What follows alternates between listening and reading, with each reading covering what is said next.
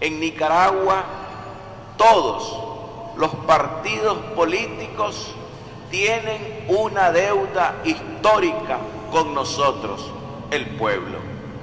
En Nicaragua no hay un solo partido político que no tenga una deuda histórica con nosotros, el pueblo, que deben de saldar.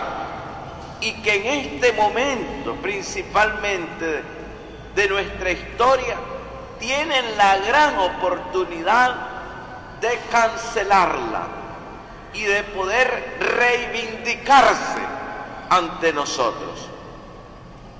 Deben de tomar las riendas, de trabajar en conjunto por unas necesarias y justas reformas electorales integrales.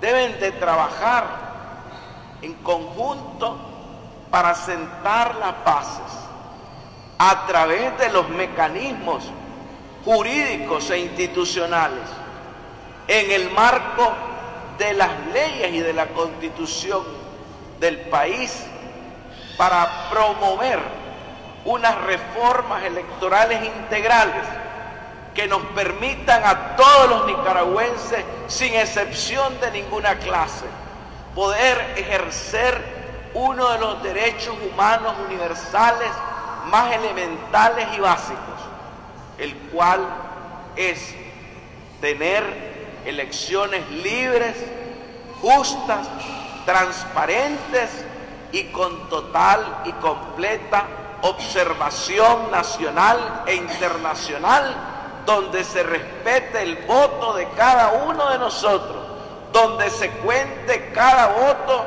de manera transparente y donde se respete la voluntad de la inmensa mayoría de los nicaragüenses.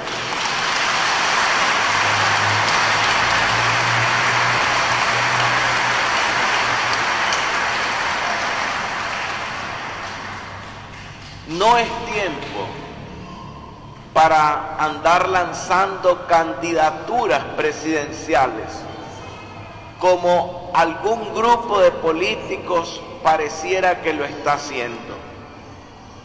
No es tiempo para andar buscando protagonismos mediáticos, para presentarse ante el pueblo ya como una opción de candidato a la presidencia. No estamos para eso en este momento en Nicaragua. Más todavía, aquellos que pareciera ya piensan o sienten que son los candidatos a los cuales el pueblo les va a dar el voto, es de los que el pueblo se distancia. Porque en la sabiduría del nicaragüense, todos sabemos que antes de sembrar hay que arar y antes de cosechar hay que sembrar. No podemos, y lo sabemos muy bien por el refrán popular, comernos la carne sin tener en mano la ternera.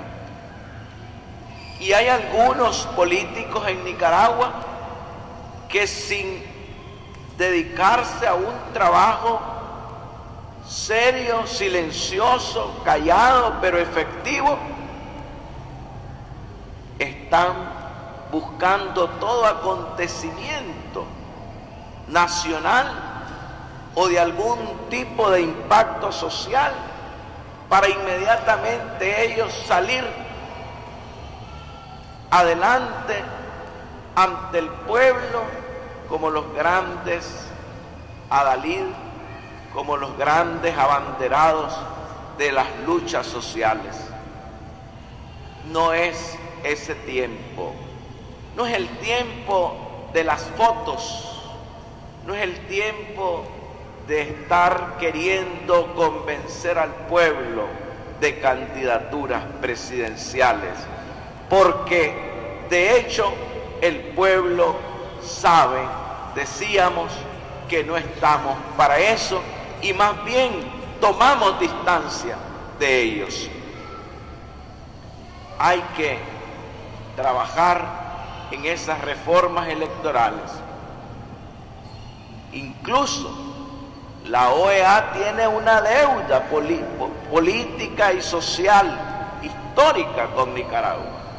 También la OEA tiene la gran oportunidad histórica de reivindicarse ante nosotros, haciendo un buen trabajo en este proceso de reformas electorales integrales que todos estamos necesitando.